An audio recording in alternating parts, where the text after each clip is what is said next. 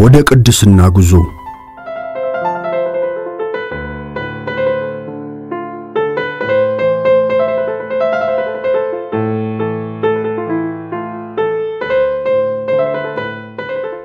አዳምና ሔዋን ራቁታቸውን ነበሩ፣ ነገር ግን አይተፋፈሩም ነበር።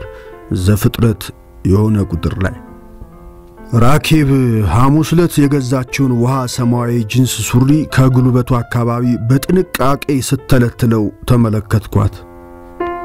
ነገሩ ለእኔ አዲስ አይደለም።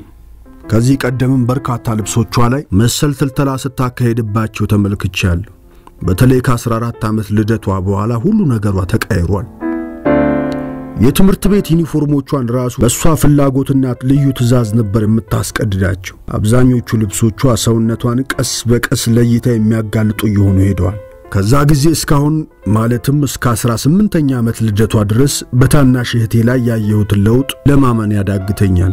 አጫጭር አሊያም ስንጥቃቸው የትየለሌ በሆነው ቀሚሶቿ የለጋነት ዳሌዋ ፈጦ ሳይና የብዙ ጆፌ ጎረምሶች ዓይንና ትኩረት ስቦ ስመለከት እናድድም ጀምሬያለሁ። ቀስ በቀስ ከላይ የምትለብሳቸውን ልብሶች የወገብ ብቻ እየሆኑ እምብርቷንና የተወደዱ ጡቶቿን ከመሸፈን ቦዝነዋል።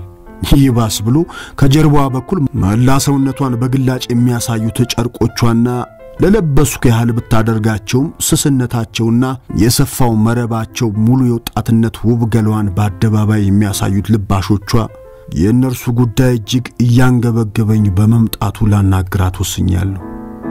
ግን ምንድን ነው ምላት? በመዲናይቱ ዞር ዞር ባልኩባቸው መንገዶች በተለይ በዋነኞቹ አካባቢዎች ዓይኔን ከሚያሳምሙኝና ቁጣይን ከሚቀሰቅሱት ጉዳዮችና ቦታዎች አንዱ ዋነኛው የሆነው የሴቶች አልባሳት መሸጫዎችን ሳይ ነው።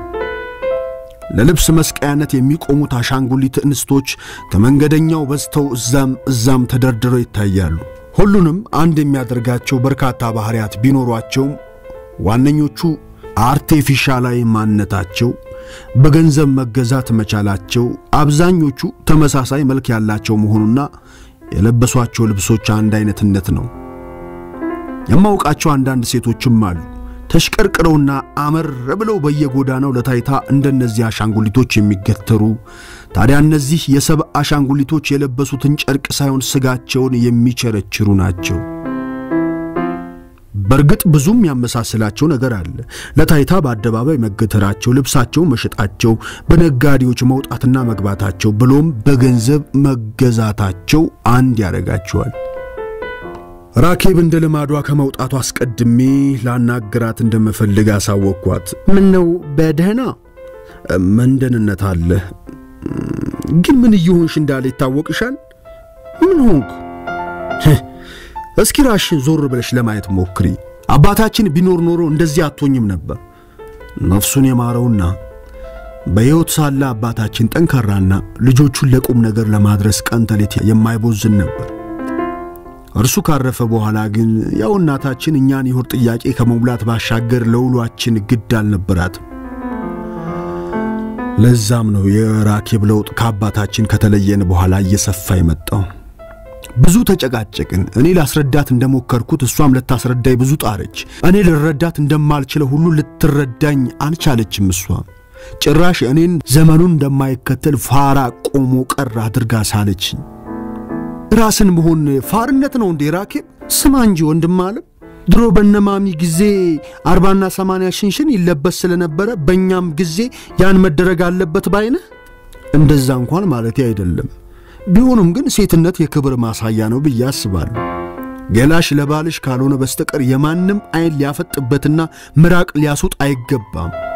ሰውን የሚፈትን አልባሳት ለብሶ መንቀሳቀስ ደግሞ ኀጢአትም ነው ስላት ኀጢአትስ መጀባወን ነው ወንድሜ። የቀደሙት እርቃናቸው እንደነበሩ ረሳኸው እንዴ አለችኝ። እርሱስ እውነት ነው። እውነት ታዲያ እንስቶቻችን በዝግታ ወደዛኛው የኋላ የቅድስና ዘመን እየተጓዙ ነው ብዬ ልመን? የእኛ ማኅበረሰብ አንድ ነገር ለመልመድ ጊዜ ስለሚወስድበት የሚል ከፍና ዝቅ እያደረጉና እንደ እምብርት፣ ጡት፣ መቀመጫ ምናምን በሂደት በነጠላ እያሳዩን እያላመዱን በስተመጨረሻ እርቃናቸውን በአደባባይ ላለመሄዳቸው ምን ዋስትና አለን? እውነት እንስቶቻችን ይህን ሁሉ እያደረጉ ያሉት ጉዞ ወደ ቅድስና መሆኑ ነው? ኃጢአት በመሥራታቸው ምክንያት ከአምላካቸው ከእግዚአብሔር የተለዩት አዳምና ሚስቱ ሔዋን የልባስን ሕይወት እንደጀመሩ ቅዱሱ መጽሐፍ ላይ ተተይቧል። አባታችን ከተለየን በኋላ ደግሞ ራኬብ ቀስ በቀስ ልብሶቿን ወይም ኃጢአቶቿን ከላይዋ እያስወገደች ትገኛለች። ባለፉት አራት ዓመታት ጉልህ ለውጥ እንደማምጣቷ በሚቀጥሉት ሁለትና ሦስት ዓመታት ላይ ስለ እሷ ማሰቡ እጅግ አስደነገጠኝ። የተለያዩ ማኅበራዊ ድረገጾች ላይ የተከበረው የአበሻ ሴቶች እርቃን በአደባባይ ሲለጠፍ ይባስ ብለው የሾሉ ጡቶቻቸውንና ዳሌያቸውን በሰልፊ ፈገግ ብለው የሚያነሱና እነሆኝ ብለው ለተመልካቹ የሚያበረክቱ ራኬብ መሰሎችን አሰብኳቸው። ነጋችንን አሰብኩትና አስፈራኝ። በአሜሪካን አደባባዮች ላይ እንደ አንድ ታላቅ ሀገራዊ በዓል ተወዳጅነትን እያገኘ የመጣውና በሰፊው የሚከበረው የእርቃን ቀን ሀገራችን ላለመግባቱስ ምን ዋስትና አለን ስላሰብኩ ዘመኑ ወደፊቱ እየገሰገሰ ሳለ የእኛ ሴቶች ግን በአስደንጋጭ ፍጥነት ወደ ኋላ እየተጎተቱ መሄዳቸው አስገርሞኛል። በእርግጥ ቅድስናን ፍለጋ ይሆንን? የቀድሞ ሥርዓት ናፋቂዎች ለራኬብ አንድ ነገር ብቻ ተናግሬ ያትወጣው የቀደሙት ከኤደን ገነት የተባረሩትና ልብስ የሆናቸውንና ራቁት ሆነው የማያስተፋፍራቸውን ጸጋ የተገፈፉት በበሉት ፍሬ ማለትም ትእዛዝ በመተላለፋቸው ምክንያት ነው። ስለዚህም ወደ ኋላ ማለትም አንቺ ወዳልሽው ወደ ቅድስና ሊመለሱ ልብስን መጣል ብቻም ሳይሆን የበሉትን የሚያስወጣ መድኃኒትም ያስፈልጋቸዋል። ራኬብ የጣሳችሁትን ትእዛዝ ይቅር የሚያሰኛችሁ ድርጊትም ልትፈጽሙ ይሻችኋል። ወደ ኤደን ለመግባት ራቁትነት ብቻ አይደለም መስፈርቱ፣ እርቅ ያስፈልጋል። እርቅ፣ ይቅርታ። ራኬብ የተሳፈረችበት ባቡር ትክክል አለመሆኑን ትረዳ ትረዳ ባልረዳውም ብቻ የወንድምነቴን ብያት ትቻት ወጣሁ።